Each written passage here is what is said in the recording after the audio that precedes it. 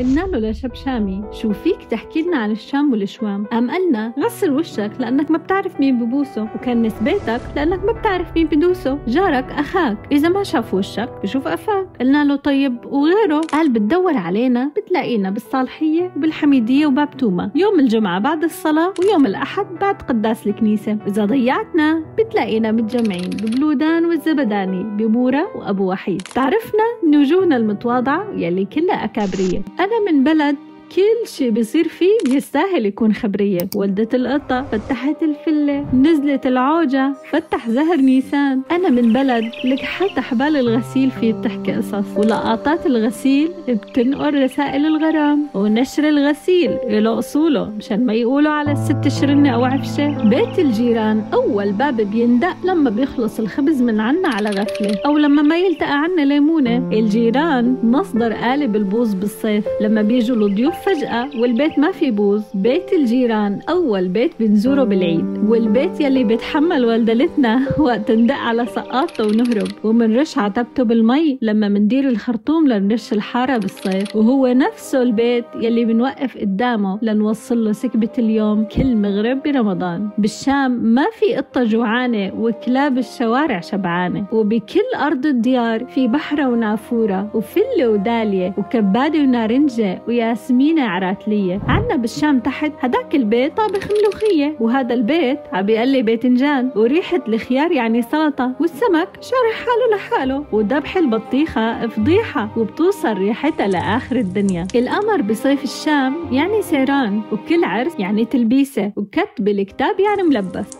لما بيندق باب بيتنا بنتحذر بين بعضنا وبنقول يا ترى مين إجانا؟ هي نقرة الجارة. سريعة وقصيرة. لك لا هي دقة عمتي ناعمة وخفيفة. ولا خبطة ابن الجيران بيبوس صباطه على الباب. أكيد هي خشخشة المفاتيح وبابا عم ينادي يلا ليتغطوا النسوان. أنا من بلد الأساور الرفيعة والمبرومة والحية. أنا من بلد كاسات الليمون الجامد والتمر الهندي والكازوزة ال orange والكولا والأمر الدين. أنا من بلد الفول المقلى والمدمس موسم الفول بكل أيام الجمعة.